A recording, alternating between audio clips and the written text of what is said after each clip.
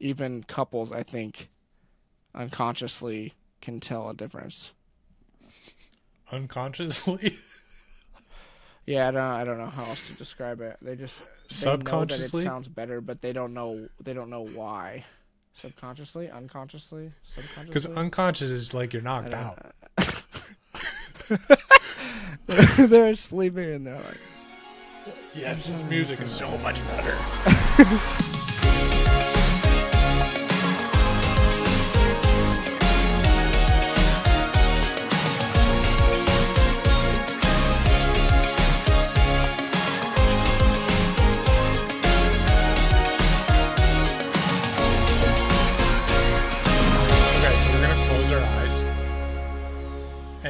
gonna try to line up telepathically. God, this gonna isn't try to gonna work because we're we're not in person. I bet this isn't gonna work at all. There's gonna be too much Let's- lag let's over try. the internet. We're gonna give it five 'Kay. tries. So when I say I'm gonna go three, two, one, go, we're gonna close our eyes and then we're gonna try to clap at the same time. Okay. Okay, ready? Close your eyes. Yeah. And then after I say go, whenever you feel like you're ready to clap, you clap. So three, Okay. Okay. two, one, go. No chance. Is- Okay, Are you gonna three- say go again? No, I, we're just just feel it. I can't even hear your clap. Are you clapping? I haven't clapped yet. Okay, okay, okay. I just about knocked over my mic. Okay, three, two, one, go.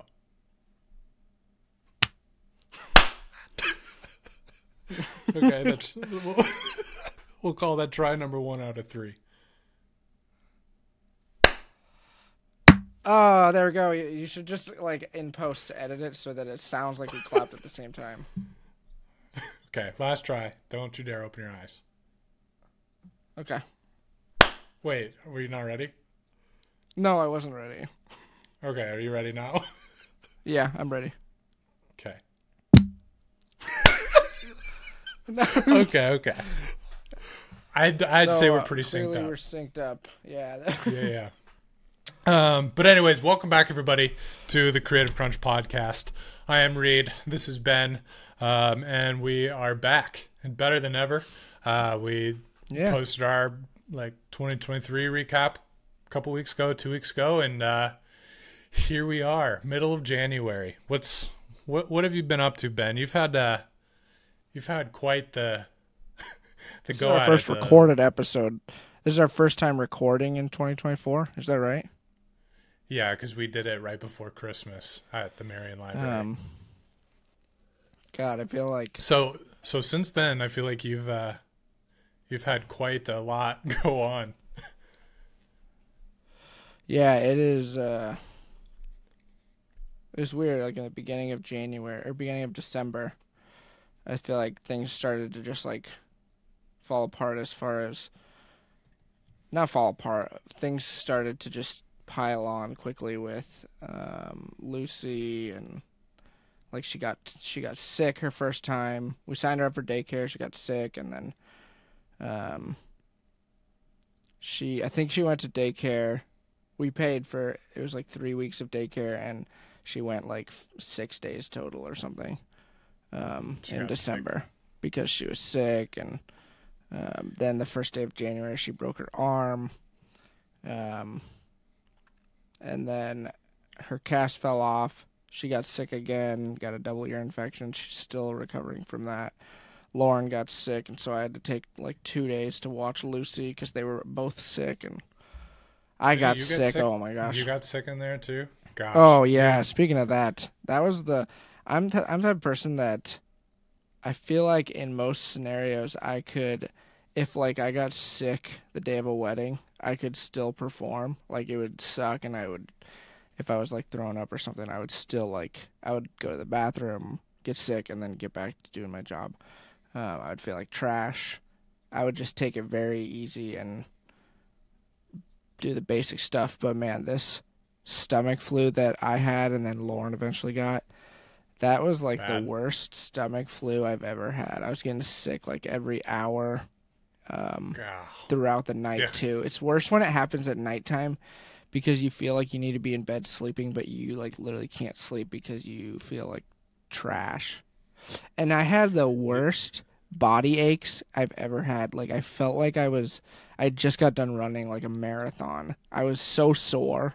I was like rolling out my back and stretching my legs and oh my god, it was Mm. horrible. It took like 3 days to finally start to feel back to like 80%. that does not sound fun. um, Yeah. and I, I, I hope, I hope if you actually had the stomach flu, like at a wedding, you wouldn't, you, you wouldn't just power through it. I don't know, yeah, I mean it's contagious.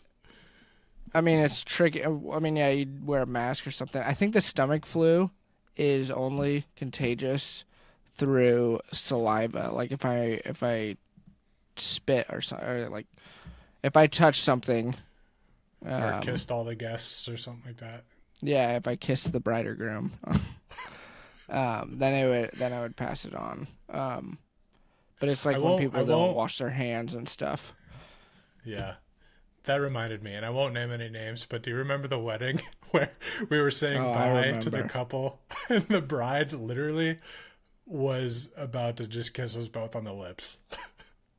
I feel like we've had like two of those weddings, two or three of There's them. There's been a couple couple moments, but it was just like obviously it was like the end of the night, it was a big party, but I have never felt so uncomfortable with how close she was to our faces saying goodbye.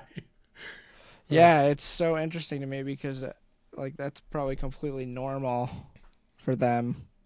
Um, Yeah. I think everyone just has their like looking back at it now. I'm not that like if I feel like if we went and filmed her wedding again, we wouldn't question it. We'd be like, "This is normal," and we would be fi- like comfortable with it. But being a first time, Yeah. having that happen the first time, having having her that close to our face, um, was kind of a shock. Yeah. Like, whoa. the only thing the only thing that would have been more make it more uncomfortable if we did it again is like if she actually did just go for the kiss like the, the face Yeah. closeness was fine and like the heavy eye contact was whatever uh it, uncomfortable at the at the beginning but yeah if we did it again it'd be fine just just no smooching and and we'll be all right but yeah that that made Yeah, me it's interesting how everyone has like different, different personal space.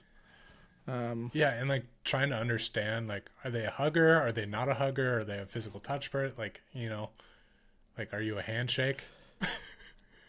but yeah, that's always so. That's like the first thing that you have to decide when you show up at a wedding. Like, all right, am I gonna hug this person?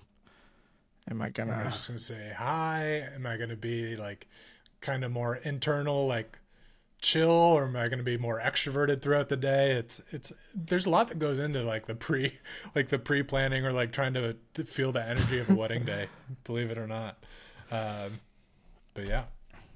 That just made me think of Um, that, and I was like, "Gosh, that was an uncomfortable moment." Cool. Um, Um, what do you have something to say? yeah, but what I was saying in? was like that's that's it. That's cold I had uh, or that flu I had. Uh, I don't think I could have. I don't think I could have performed at a wedding. I didn't- like. I think I would have had to tell the couple, "Hey, I'm sorry, I can't." And it's crazy how quickly it came on. It was like 4 p.m. and I went to put Lucy to bed. Um, at like si- at 4 p.m. I started to feel sick, and then six, I was putting Lucy to bed, and I was at a point when I was putting Lucy to bed where I was like, I'm gonna have to toss her in the crib and run to the bathroom, even if she wakes up. Um, luckily, I was able to get her to sleep, but then from like six until like that next morning, it was brutal. Gosh, that And man, No, it makes you. me think like, what would happen in a situation where if it came on that quickly the morning of a wedding? Like it's it's crazy to me to think like, oh, you get sick, you can't go to the wedding, so you're in charge of like unexpectedly you get sick. Does that mean you have to refund them seven, eight thousand dollars? Because you unluckily got this like flu. Like how does that like I know people put in their contracts things like oh uh act of God like things yeah, that are it- it- they can't control. It probably just like is that just tough luck for the couple? Like I feel like it's such a terrible situation. Well, yeah, I don't know because like we both have the non-refundable retainer, and I don't know. Like me personally, if like I couldn't make it and I couldn't find someone to come show your wedding, I would work something out with them and be like, "You will get your money back." I feel so bad, or like we'll plan like, let's go to the mountains and shoot like a little, like low key Oh, yeah, yeah, yeah. thing, like on my dime sort of thing. Um, but yeah, no, I'm thankful. I'm thankful that's never happened like on a wedding day. You were helping me at a wedding though, where I was feeling pretty bad, and I went and Yeah, I think back that's the my benefit of having somebody that you can trust with you. Yeah. That was also a wedding. gosh, if it was, two- like, at a wedding-. I'm just trying to imagine if it was a wedding where you had a second shooter that maybe shoots with you twice a year or three times a year. Where you Like I don't know if you could be them- like, "Hey, I need you to take lead." you'd have to. Yeah, I like, mean, what that else are you Would, gonna that would do? be tough. Well, moral of the story: take care. Ta let's take care of ourselves. Honestly, I think in 2024, I'm now that I have a kid, I think I'm literally just gonna start stocking up on multivitamins and like Mm, trying to just be as cautious leading up to weddings, um, as to try can- to yeah. prevent myself from getting sick. I have like a three day period. So like say the wedding on Saturday. So on Wednesday, I'll be like, I'm gonna eat super clean and like super light. I'm just gonna chug so much water, take all my vitamins and stuff, and like try to have that time frame. But like Sunday, Monday, and even Tuesday, sometimes I'm a little less like I've got time to recover if something were to happen. But uh, yeah, that's an anxiety I think a lot of a lot of wedding people have is like, God, what if I get sick?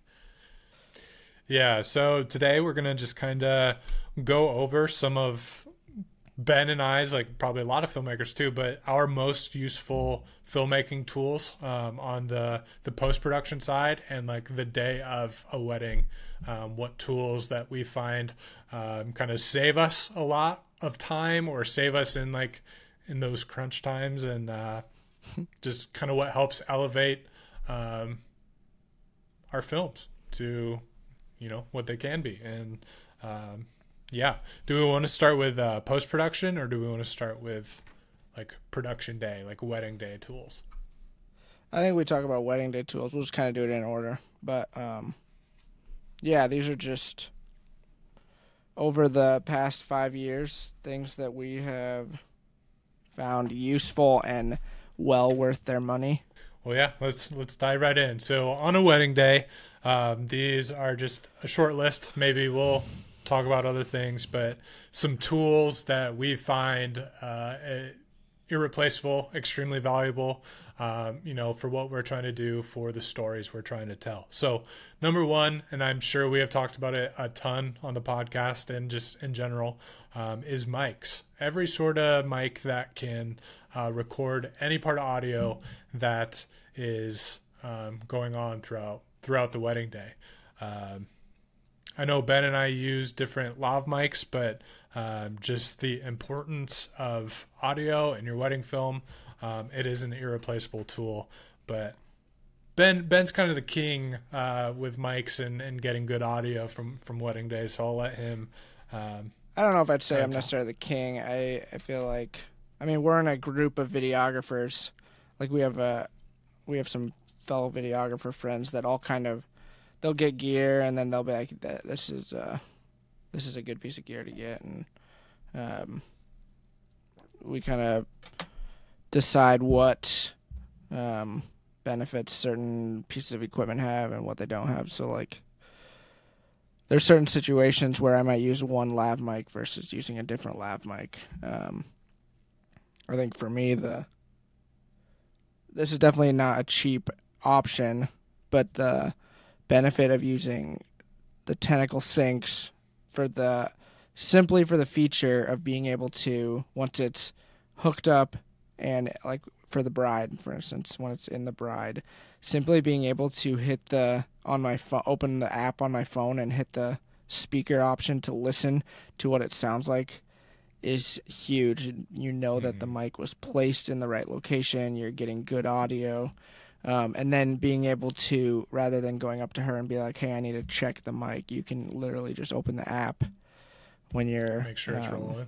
before the ceremony and like open the app and you can see that it's still recording and you can turn it on and listen to it to see if it still sounds good if like the mic moved or something accidentally.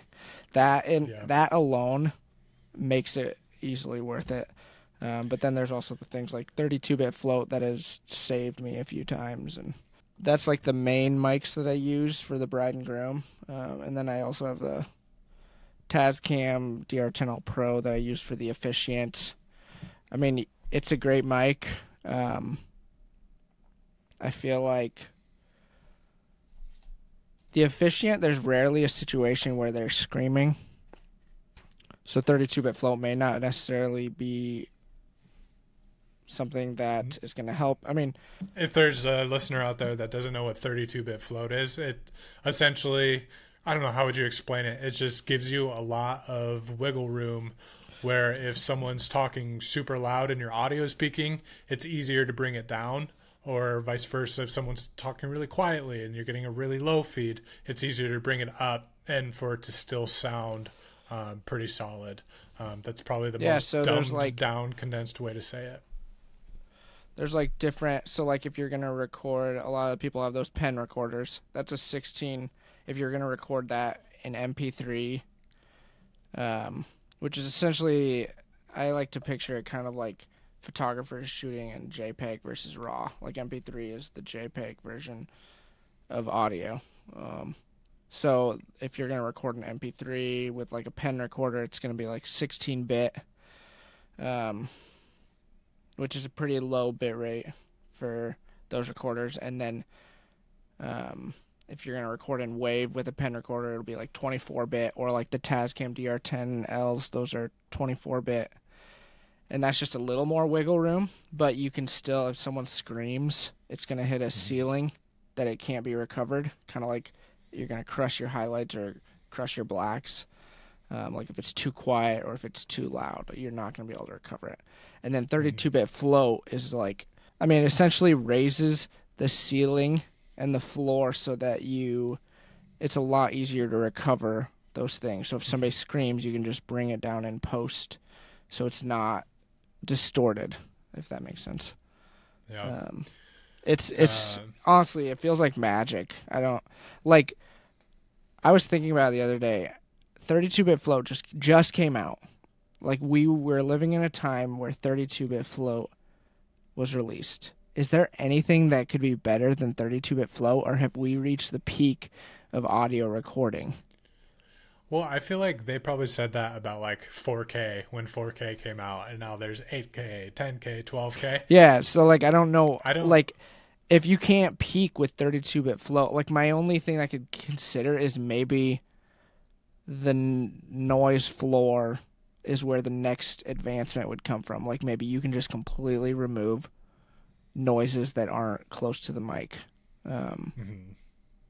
like that would be the next advance. I because I, I just can't see what would be the next big improvement. I feel like there'll always be improvement of when something is too loud. Because, like, even with 32 bit float, you can still scream and have everything peaked. So, like, just, but it's very rare for those scenarios. So, it's almost like unnecessary to make anything better. But they're obviously going to keep trying. Like, that's just how technology and stuff works. I am curious, though, to see, like, with audio, what what comes next with you know float Yeah, like I feel like that. if you get a 32-bit float device now, that's gonna last you a long time. They're not gonna come out with something better than that. Not for a Um, while. that's all. That's all a lot of information, but yeah, um, we just we just info dumped on everybody. those are just lavs. the other yeah. lav that we that I I, uh, like to use and um, we'll use at your weddings too is the DJI mics. Um, or like a Rode Wireless Go or something. I prefer the DJI mics simply because it's smaller. yeah, I can actually show you. I have them right here. and those They're mics are like, super nice too. Yeah, because like on the fly, uh, it's easy to mic someone really quick with those Mm. things, um, rather than like the Tascam DR10L or even you know obviously the the Tentacle Sync, but um, those are nice and those are very uh, versatile too. Got magnet. Um, yeah. yeah, They're easy something for that we do- women. very true. Something that we do with those two that's kind of more.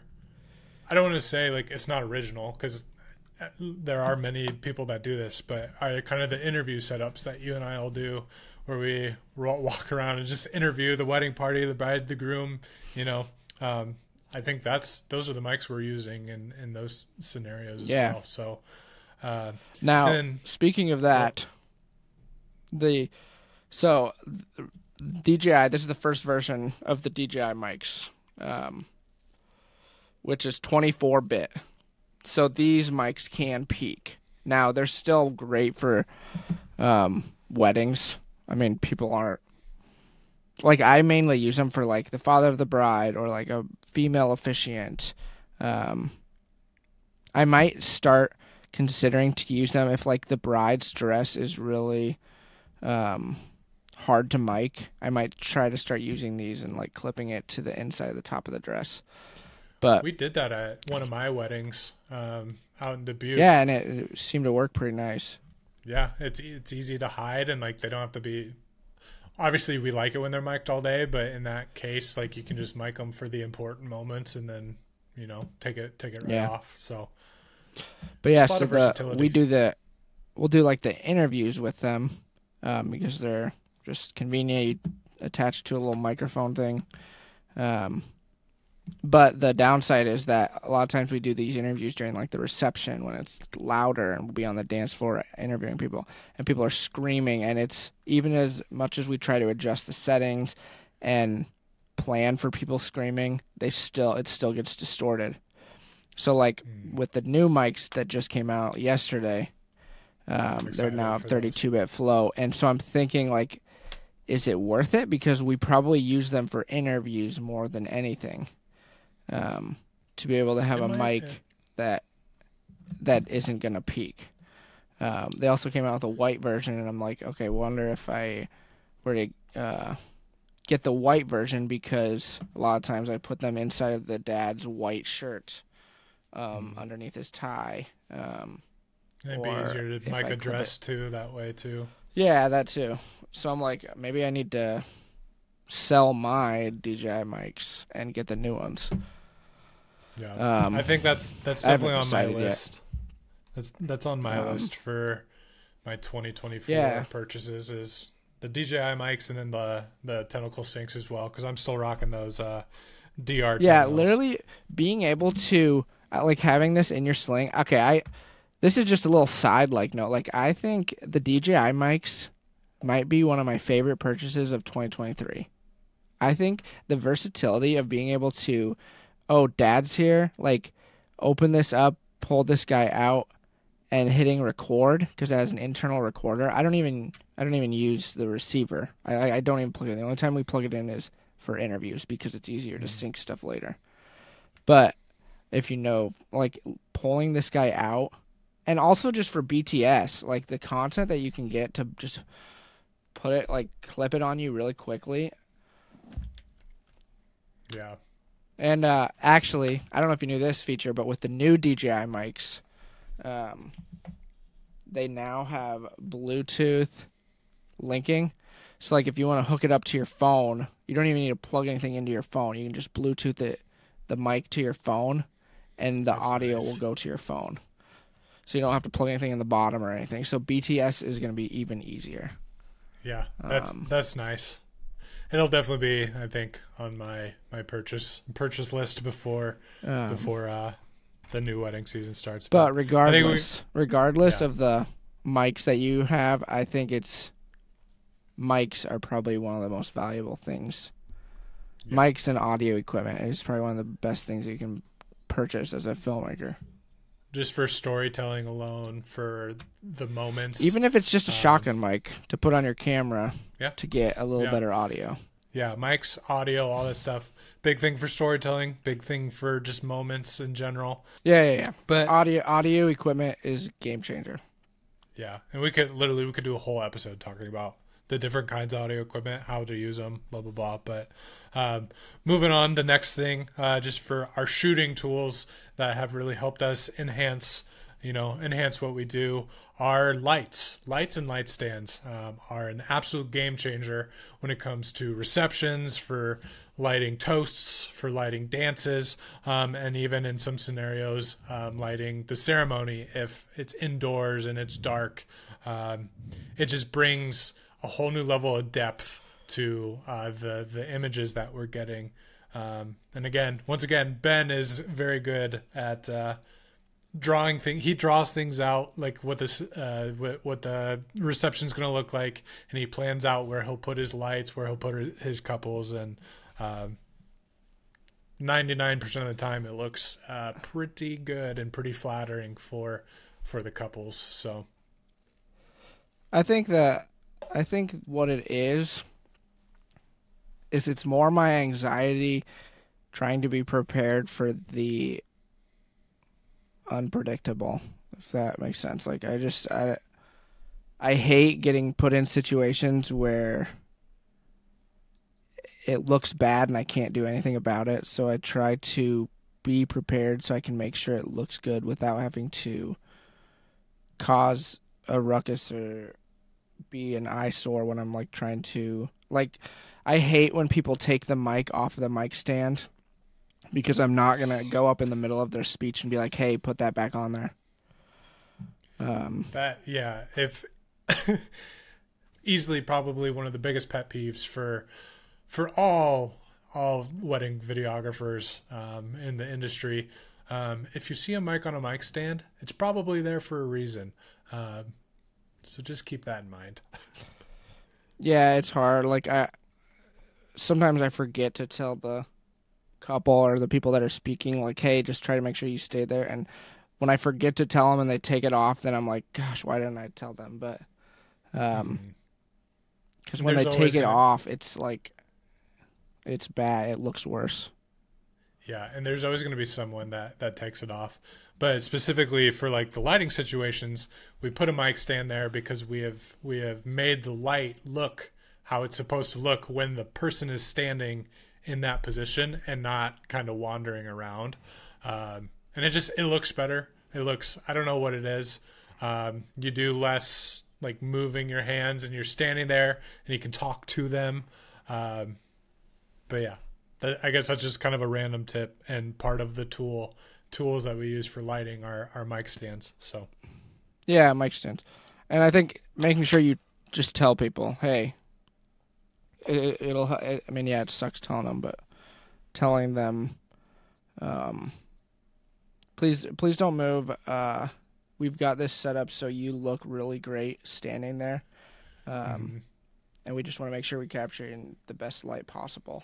Um, yeah, that's always the move is telling. If them... you can crack a joke with them, it'll it'll maybe make it yeah. a little easier for them to grasp, but. Um, just yeah, warning just them. Always saying super helpful. This is the most flattering angle that we can get, um, and so we want to make sure, obviously, like this that this looks good. Um, so if we can just have everyone stay put where you are, because we, you know, we set up our lights, we set up our camera um, for those flattering angles. Obviously, uh, it's something that we pay attention to. I want to touch on that.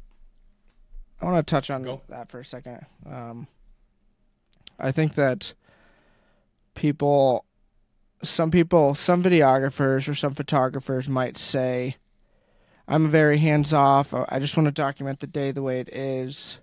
Um, i don't want to try to make something that it isn't. But i think i think that's looking at it the wrong way. I think what what we're doing is we want to make it very memorable. Um,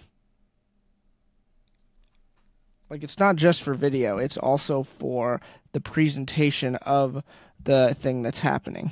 Um, yeah, I'll even I'll even say it. The people that are like, and I, am this way sometimes too. Like if a situation is just too much work to like, or not too much work, but uh, like if time is something that we're dealing with. Um, but the people that are like, I'm just going to shoot everything the way that it is because that's how it happens. Um, Yeah, I think that's looking at it kind of the wrong way, like you said, and it's honestly kind of lazy um, in a way too, because like by moving your couple and setting up lights and setting up a mic stand, that's not changing anything of the day at all. Like not like there's not a we're just moving you maybe five feet in front of like your head table sort of situation because it looks better. And like you said with the memorable the memorable parts and obviously you want to look flattering when you look back at all this stuff like we're not shifting how the day is going in any sort of way by making sure things look right. Um, and i do think people kind of lean into that. Well i want to shoot it how it is because that's the way that it's that's the way that it is. But um, no, part of our job is service, doing a service for a couple, and um, moving them is one of those things, or like just making sure it's good. Yeah, I think we're the professionals, and it's our job to tell the couple like, "Hey, this is what is gonna look best um, for the thing that's happening," um, and telling them, and if like in a situation like they might, the, the, I mean, they don't do weddings regularly. The guests don't do weddings regularly. Um, mm-hmm. They're just gonna stand up and be like, "I assume this is the best place to give a speech right here, right in this dark, shadowy spot." Um, like their process of deciding what they think looks better better will be way different than, um, like what our perspective is from going to multiple weddings. Mm-hmm. And if you, yeah, you, if you have t- told your couple, if you have given your couple any reason to not trust you, then I think that's another issue you gotta figure out. But every time I've gone to a wedding, the couple is like, "We trust you. You're the professional," and they they don't even question. I'm like, "Hey, we're gonna move you guys out front." Um, the only people that ever question me are probably dads father the brides, and I don't know if that's a seniority thing, like they think they know better than me, um, but I think couples know, for the most part, that you are a professional and you've been to enough weddings that you know what's going to look best and what's the best route to take. You just have to go in with confidence and tell them, "Hey, this is what's going to look best," and they will trust you. Yeah, and it's funny you say that too because I feel like dads are almost always the people that take the mic off the mic stand too. And then they just and usually they're the first one to give a speech, so then they just set the tone for everyone not to use the mic stand and um but yeah, me too. Dads are kind of the only people that run into issues with like, "Hey, we're going to have you be here and because of XYZ professionally and they I don't know. Sometimes yeah. they just seem to have an issue with it. The longer I've been doing it, I'm when a dad does take it off the mic stand, I'm kind of like, whatever. He's there's no stopping this train. Like yeah. you, like you and just let that, it happen, and you just accept it. Exact, document it. Yeah, and if you try, that's when it becomes weird. If you're trying to shift something of the day, if you went up and you're like, "Hey, put that back and stand here," that is too far. That is manipulating the day in a way that's not not how it yeah. happens but not specific like not specifically by moving someone. I don't know. I hope that makes sense. It makes sense in my head, but um, it's just the, the people that are like shoot it the way it is. But that's not necessarily. Yeah, I think it's just a combination you know? of in being an introvert and not being brave enough to, so you think of an excuse to um, not confront something or not um, confront potential. What, what, would be the correct term? Potential um, confrontation. Yeah, yeah, yeah. yeah. I and I. I mean, I think it, it really comes down to you just got to be brave. You just got to do it. You got to. If someone tells you no, then. I, I mean, I'm not gonna sit there and try to fight with them. I'm not gonna be like, you can't do that if they're if they're gonna be that upset about it, I'm just like whatever, sure. Yeah, yeah. And then just always being but communicative. Rarely does that happen. Yeah, I can maybe maybe two or three times um, in the last two years have I had someone be like, "No, we'd rather just stay where we are."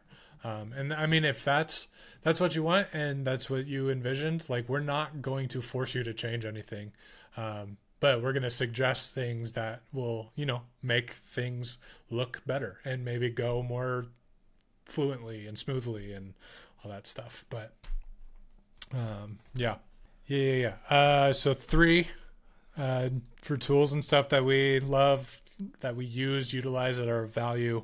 Um, bags and organization. Um, being organized with your Pelican case, your camera backpack, um, your sling if you wear one that's kind of just like a essentially like a fanny pack. Um, being organized with all that stuff saves you so much time, probably so much energy, um, and you will thank yourself during the day over and over and over again um, if you are utilizing um, your bags and storage essentially.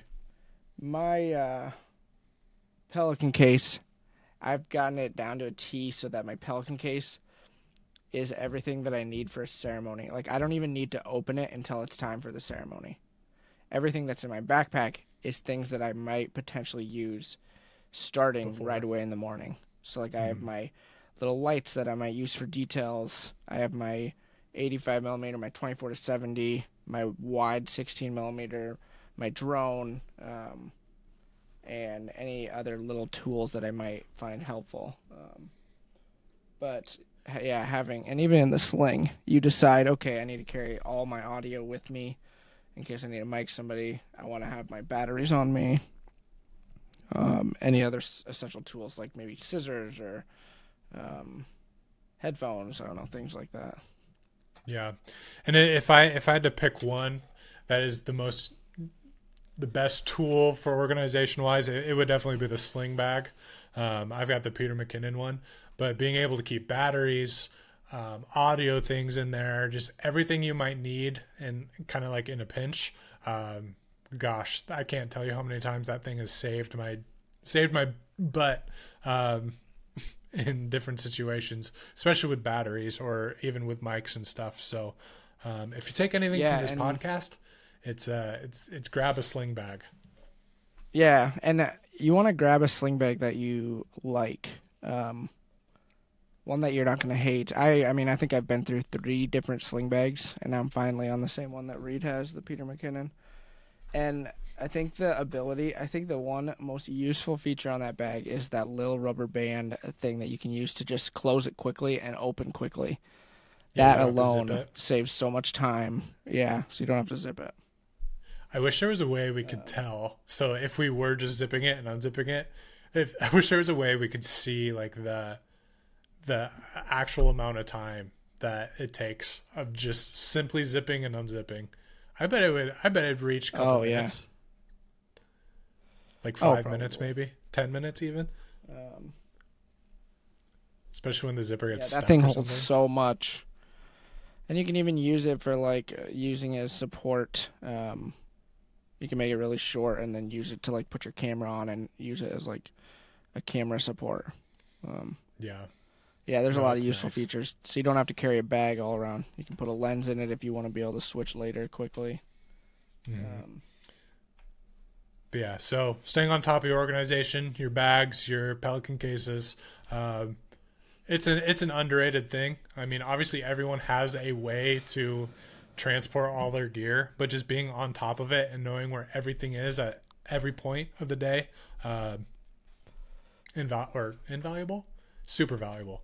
Um, but yeah, let's uh let's move on to the next one. We're gonna skip our last one just because I, I feel like we could do an entire podcast over the camcorder alone. Um, so I think we should just kind of save that for like its own its own entire yeah, podcast yeah, yeah. about how the camcorder has really changed the game um, for our wedding films and for other wedding films. But um, number four, this is a huge one, uh, huge, huge, huge one, especially for me and for Ben. Um, snacks and drinks. That's probably the most valuable tool um, besides like your camera, obviously. Um, having Ben and I, I mean, we have Gardettos also known as pocket guards.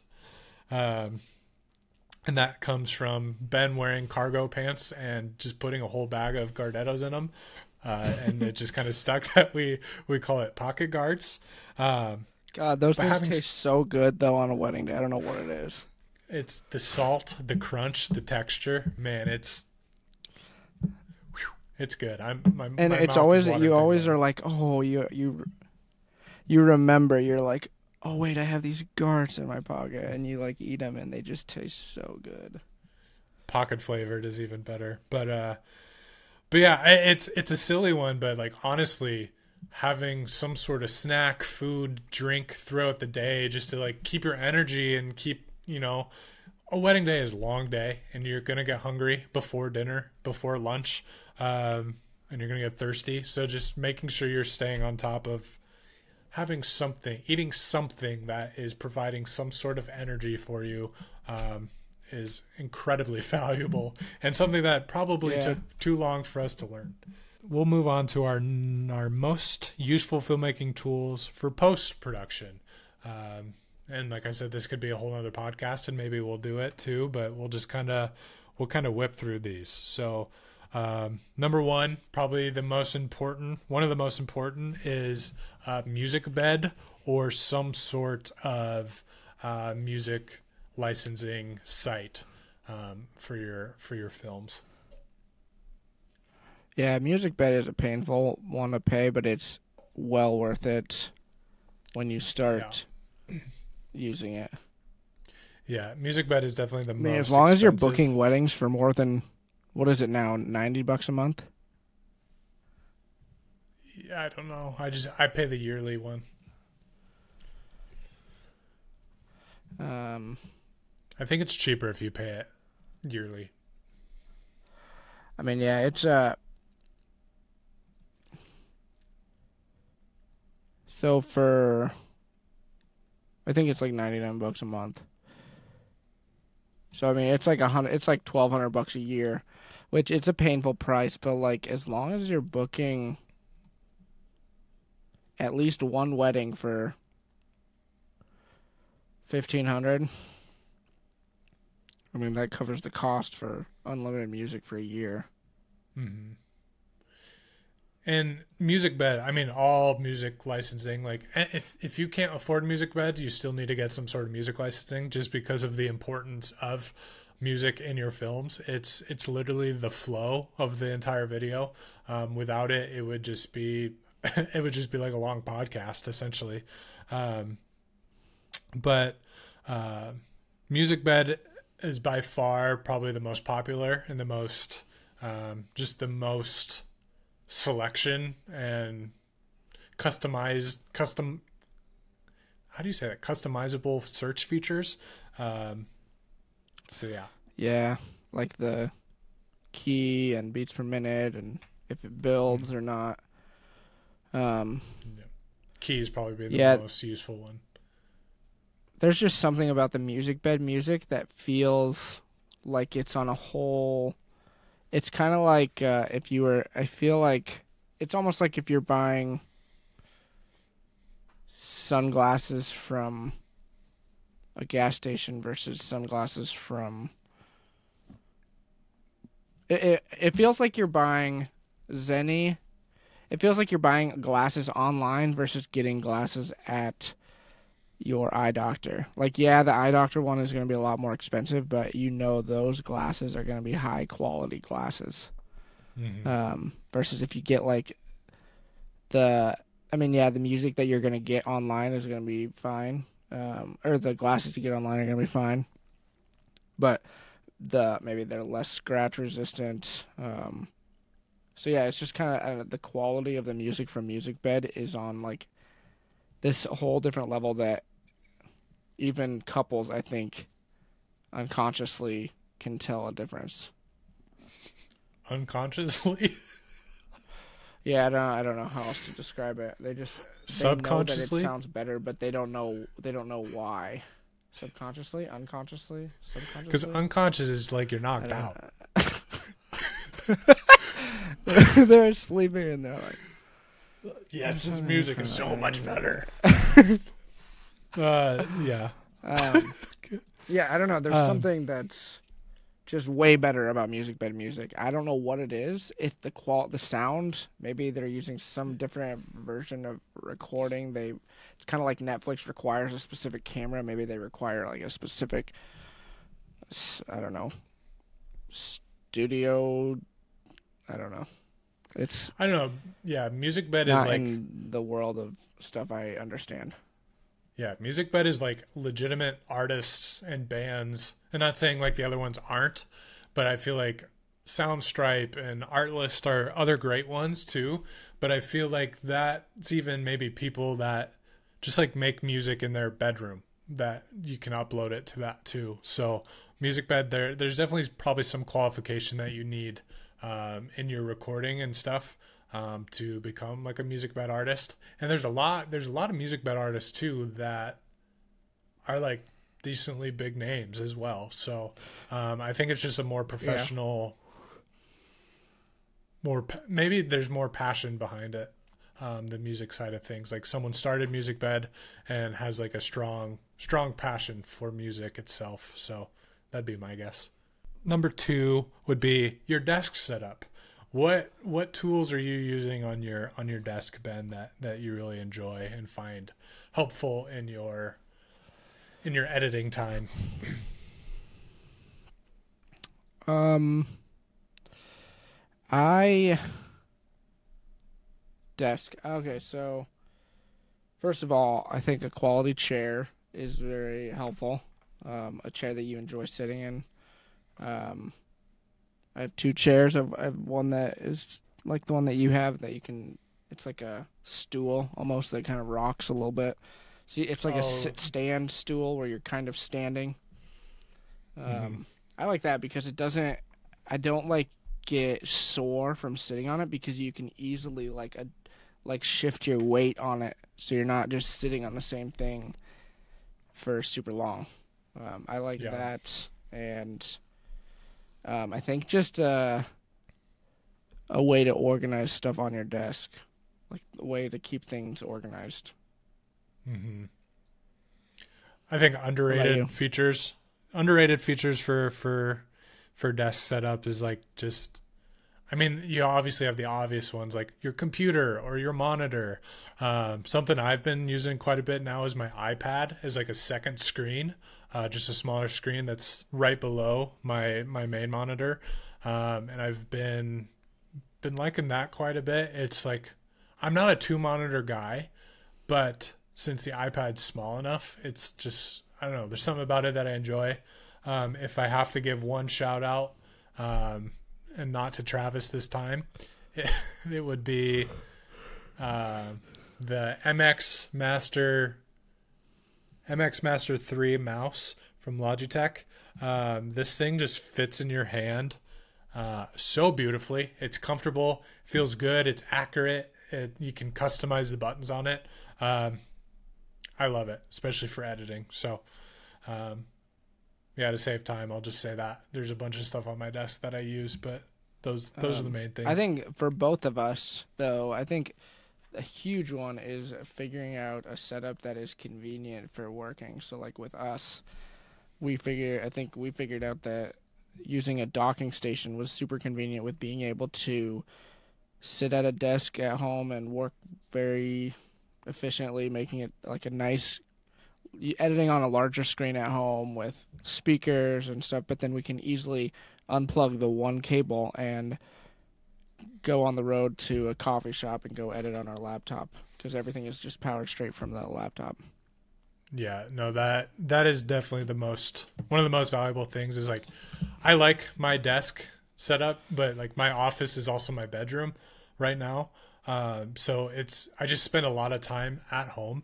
Um, so it is so nice not being able to have to unplug anything except one thing and go to a coffee shop and then open my laptop and I'm right where I left off. Um, so yeah, if you, I feel like most people probably yeah, you don't max. have to close out of anything. Mm-hmm. You don't have to close out of Premiere. You don't have to. You can literally just close your laptop, unplug, and go. Yeah, that's definitely, definitely probably the most valuable thing that we have. There's so many, so many valuable things. But uh, moving on, we can talk about this a little bit too. uh, is subscriptions to like different assets. So a couple of subscriptions that Ben and I have. We have Envato Elements, which is um, kind of like motion graphics, text graphics. Um, there's like you know there's some uh, videos and things we can get on there too. Um, Epidemic Sound for like sound effects, um, which is a whole podcast in itself too, talking about the importance of um, adding sounds to your films that uh, give it a whole new level of depth. Um, and Ben Ben has a couple too um, that I don't have that he can talk on. Um, yeah, so yeah, he, so he mentioned Envato elements. That's a that's definitely a big one. Um, and I think that alone Envato elements for the motion graphics and stuff like for um, text animations or um, maybe you want like an overlay or something, but you've used one too consistently, so you're like it's time to change get a new one so you can go get a different overlay um, without having to pay every time you want to get a new one. Um, it's kind of like music, unlimited assets. Mm-hmm. Um, but then I also use uh, denoising plugins. So like I'll use Topaz Video AI, which is pretty convenient. It allows me to sharpen low quality stuff or remove noise. I also use Neat Video. Um, there's also things like cinema grade, which can kind of help with color grading a little bit. Um, or um, I know Reed and I both have this one with. Uh, it's a. This is an effect that you can learn in your editing software, but it's a lot easier if you just if you to save time you can download. I know Jay and Mac has it. It's uh, they sell this plugin and it's called like Cinesoft, I think and it uh, essentially makes it look like you're using a diffusion filter on your footage so it gives it more of like a film look like a, it's glowing and it kind of blooms the highlights a little bit but yeah just those are just some of the ones that i use pretty frequently yeah and, and a big one it, it doesn't really help with like our editing specifically but it kind of helps um, hold us accountable is something called hubstaff um, something that Ben and I both use, and we even have like challenges. But what it does is it uh, it like keeps track of what we're doing um, down to um, like how much time we're spending in Premiere versus like what we're doing, like what links we're on. Like if we're on YouTube for four hours a day, it's going to tell us that, which is kind of scary. But also, um, like I said, it, it, it holds us accountable and just gives us. I don't know. I don't know what besides accountability, what does it what does it do for you, Ben? I think it helps me track how long it takes to edit like a film because I'll have like mm-hmm. every time I start a new film, I'll create a new workspace so that it starts that workspace at zero. Um, and so just seeing, I think that if I get to the end of the day and I've gotten at least five plus hours of at least spent in Premiere, then I feel pretty good about myself. Mm-hmm. Um, I feel like my goal is always going to be four to five hours in Premiere, like editing. I feel like that's the that's the hat that that timeline where you can be very productive. But if you're spending time past that, which we all have and we do, and I probably will today, um, sometimes it just gets a little harder to be productive and like super precise with what you're doing just because staring at a screen and putting all your effort and thought and everything into what you're doing um, can obviously have take a toll on on your mental or whatever you're doing but um, yeah hubstaff is super helpful to yeah hubstaff is pretty nice. to um, to just kind of track track our time and stuff so yeah um, and then the last one, I know we should start wrapping up here. Um, what this is another one that we could have a whole podcast on, but um, our Premiere Pro workflows that just kind of help um, with with our editing. Um, and a lot of this, I think you can do in um, whatever you know. Uh, uh, what? Why can't I think of the other editing? Final Cut and DaVinci. DaVinci. Yep. But uh, just a few things that I think Ben and I both do. Um, gosh, this is hard to explain like without showing. Um, So when you're editing, you you're editing on a timeline, and you can have multiple different timelines. You can have a ceremony timeline or sequence, you can call it, um, toast, everything. Uh, something that Ben and I have been doing for probably the last two years or so is we make a timeline specifically for usable dialogue um, from from the wedding day. So we're if we're scrubbing through the ceremony and the officiant says something really powerful, uh, we'll cut it and then we'll drag it to our usable timeline.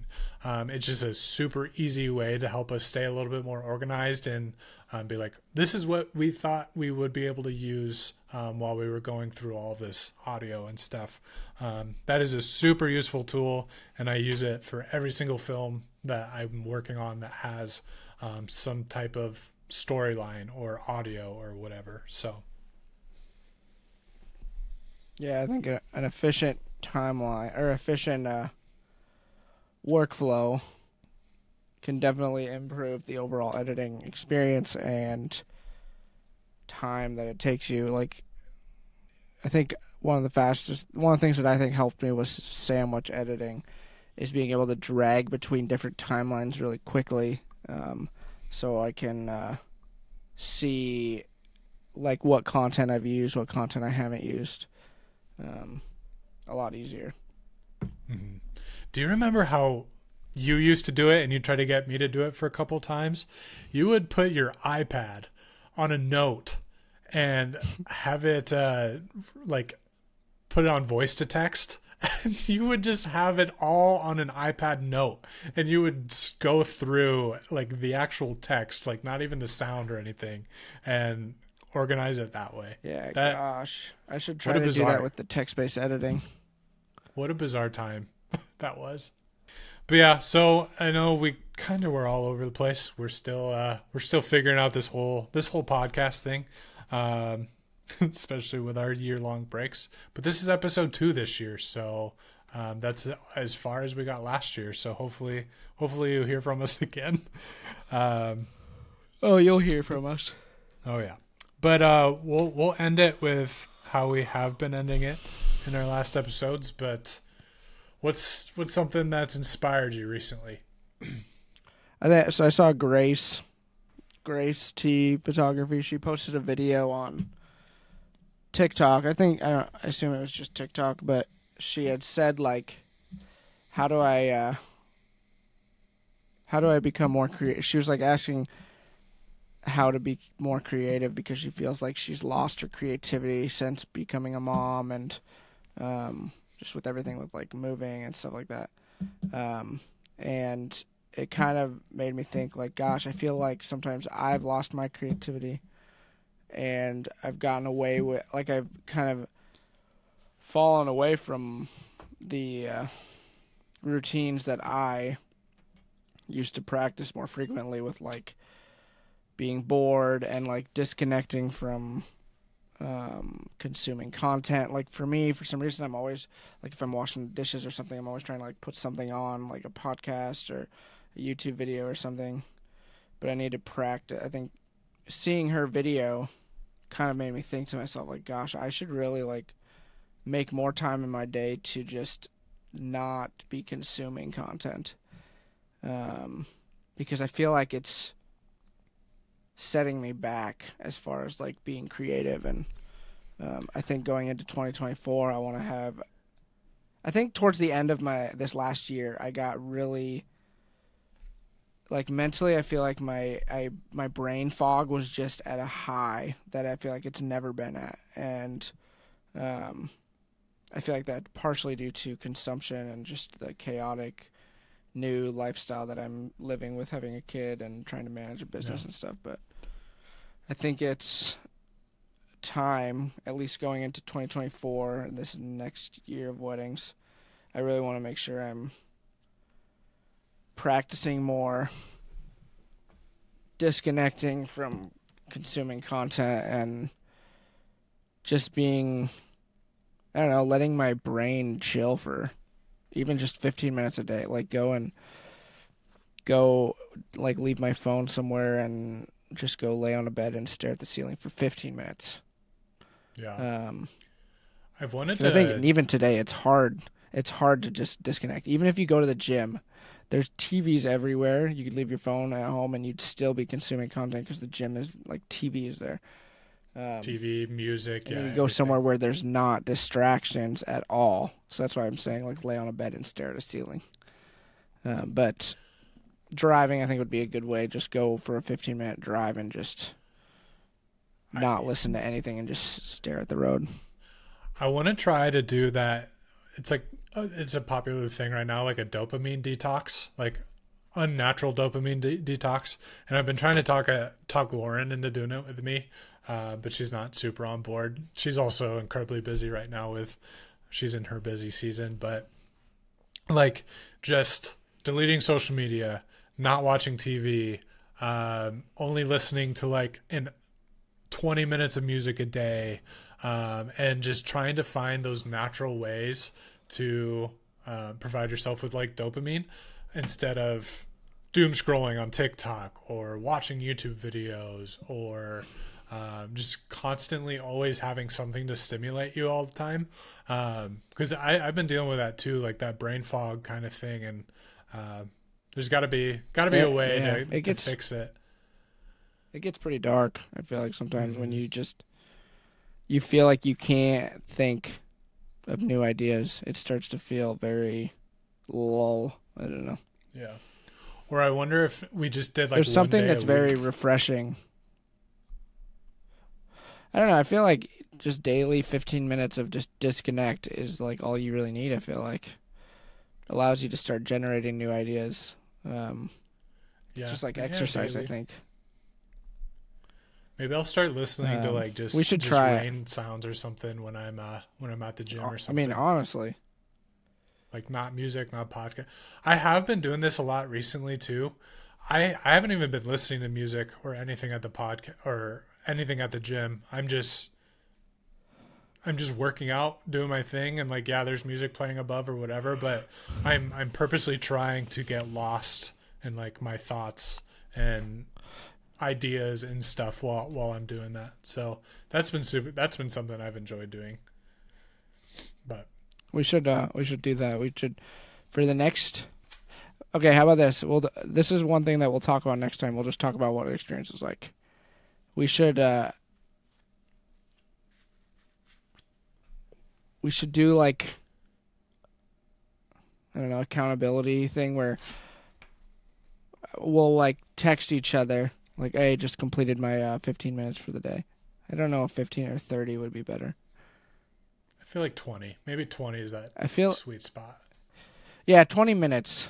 But I feel like 20 minutes is that risky where you might fall asleep.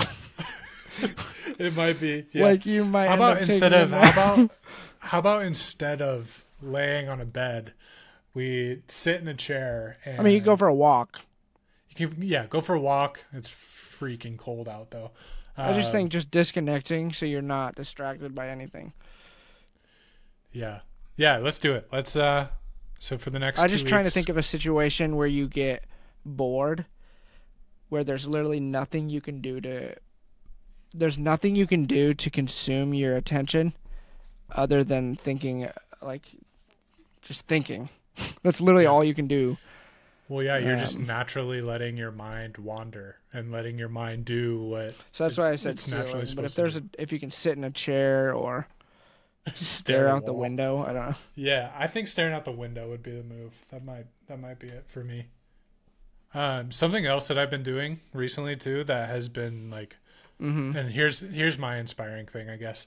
Um, I've been Mhm. reading a lot more, and I didn't know if I would like reading nonfiction, um, Mm-hmm. but I I read this book recently, and I was so captivated into the storytelling of this and like I was imagining the scene what these people look like and like I was like watching it like a movie in my mind while I was reading it and I know exactly that is what reading is but I was like that has to be so good for my imagination and like my own creativity is letting Oh, my yeah. brain like develop the scenes of like what what I'm reading and uh yeah so now now I'm I'm, a reader now now now my name actually makes sense Yeah, what was the book you were reading? uh, it was called Bull Mountain Um, I can't. It's somewhere, but it's basically like this this crime this crime book um, about like this family that's been you know like alcohol, drugs, like they've just been like this distributor sort of thing like up on this mountain. And then one of the brothers of this family like became a sheriff um, at the town over. And it, it, it's it's it's hard to like it was hard to put that book down. I literally read it in like 12 days. And that is not something that i do. Um, but yeah reading nonfiction has uh, kind of opened my imagination to something that's been been super cool. So i'd recommend that Yeah, I, I've been wanting to. Uh, that's something that I've always wanted to get into is reading. I just it's hard for me to sit down and. Yeah. I don't know it's so good for you. Holy cow. Like I just I felt like a kid again like imagining all this stuff. You know how like you imagine playing with action figures, you're imagining this huge cityscape or whatever and they're fighting but but it's just crazy. It's just like a it's uh, something that helps you work your imagination. I don't know. It's it's very cool and very inspiring to me. So uh, I, I will it. definitely continue to keep reading. But cool. Anything else from you? Um. I don't think so. I don't think so. Um, Cool. I do want to mention. Um, I just want to give a little shout out to um, Travis? We had someone com. Well, yeah, obviously shout out Travis. We have to shout out. Shout, yeah, shout, shout out Travis.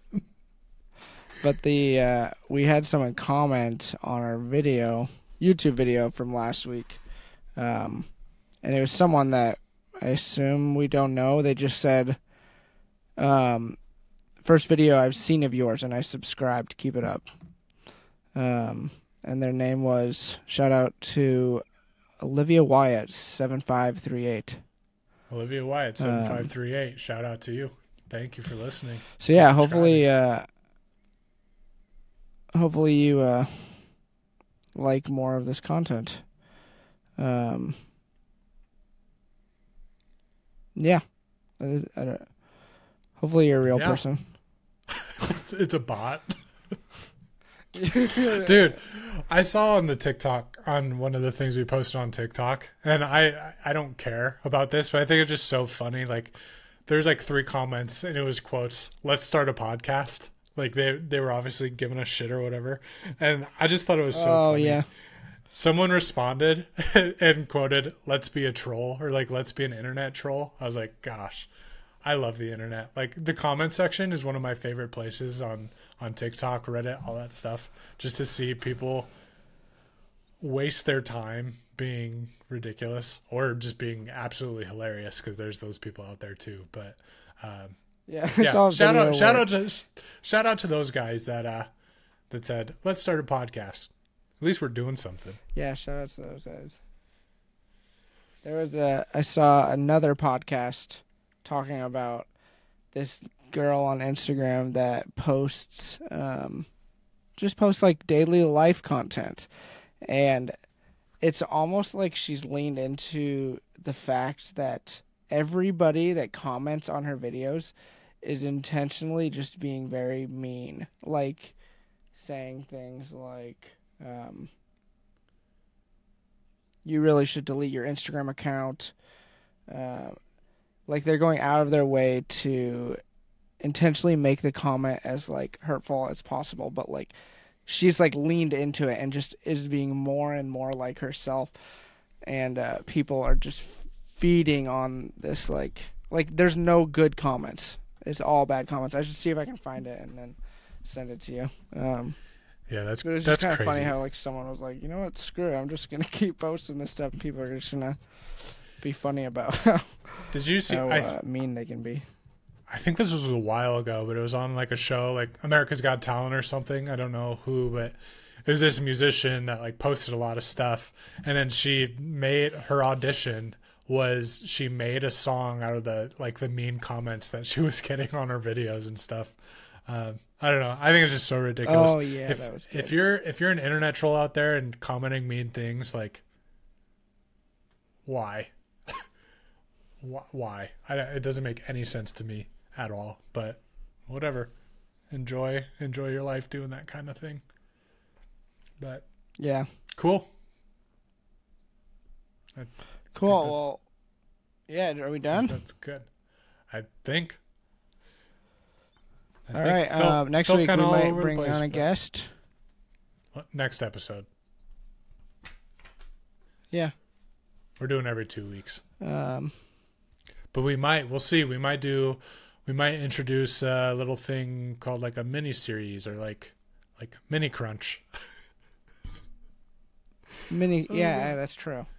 a mini crunch. That's but uh, that could be that could be fun. I think. yeah, regardless, we're gonna see you in a couple weeks. Uh, we might have a guest on. Who knows? We we actually don't know if we will or not, but maybe. Um, but thanks for listening. Thanks for watching. Thanks for subscribing to Olivia Wyatt seven five three three or whatever. Um, we Yeah. appreciate it. Uh, shout out Travis and uh, yeah, thanks for thanks for being here. Yeah. We'll see you next time. And Did you- stop. Did you blow a kiss? There we go.